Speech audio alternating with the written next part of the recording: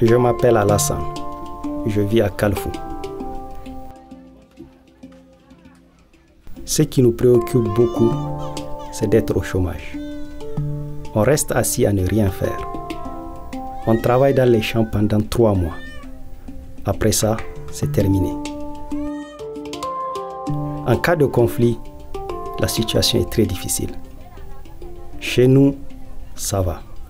Mais à côté, dans les pays voisins, les choses vont mal. Ça nous touche parce qu'on ne peut pas se déplacer. Il y a des combattants armés qui viennent dans ces pays. Ils attaquent les marchés et bloquent les routes. C'est ce qui nous inquiète le plus.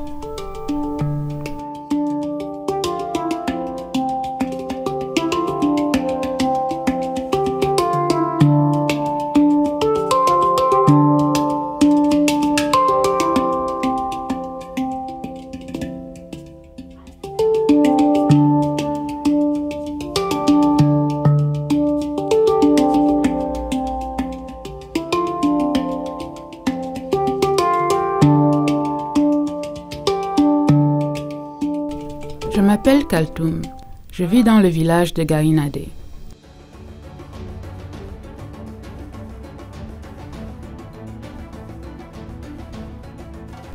Nous avons bénéficié d'une formation intensive sur la paix, la prévention de l'extrémisme violent et nous avons beaucoup appris sur l'importance de préserver la paix.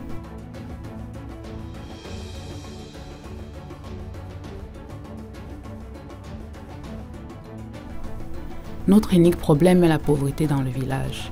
Les conflits dans les pays limitrophes ont eu beaucoup de conséquences néfastes, mais dans notre région, la situation est paisible.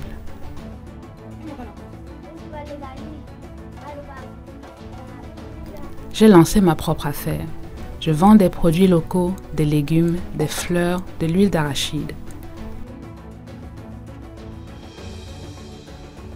Grâce au projet, nous nous sommes familiarisés avec la gestion commerciale et la gestion du temps et nous avons acquis des connaissances sur les crédits coopératifs et sur comment s'associer entre femmes dans le village, à travers les coopératives de femmes pour améliorer nos moyens de subsistance.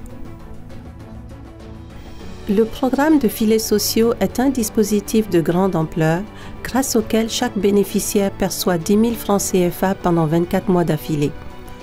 Je travaille dans le secteur agriculture.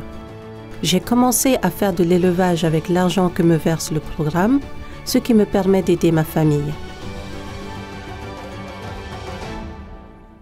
Nous n'en visons plus de partir.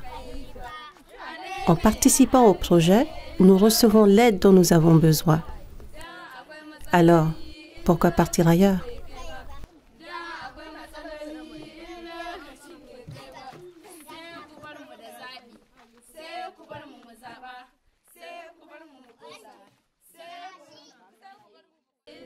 lokaci bai kai ba.